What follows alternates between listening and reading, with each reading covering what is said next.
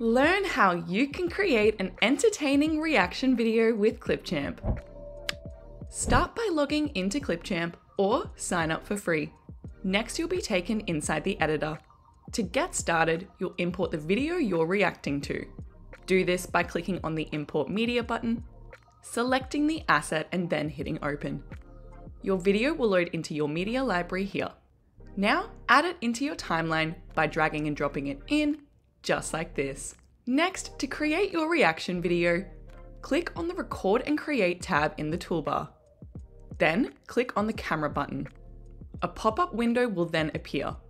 You'll click on the red button to start and stop your recording.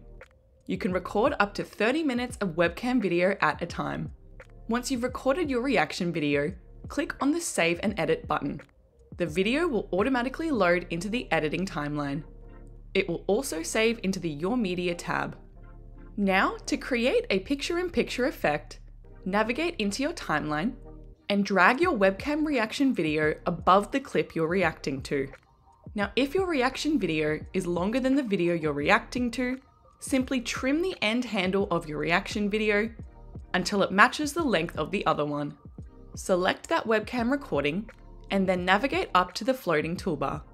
Click on the three dots and then select the picture in picture button. You can choose from any of the preset options. These include top right, top left, bottom right, or bottom left.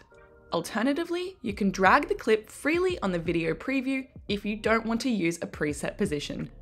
You can also change the size of the video by dragging the corners in or out to make it bigger or smaller.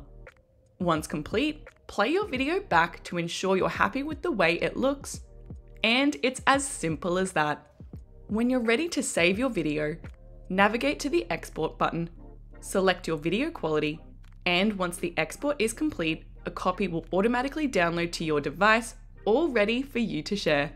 And that's how you can create a reaction video with Clipchamp. If you like this video, don't forget to like and subscribe to our channel for our weekly how-to videos.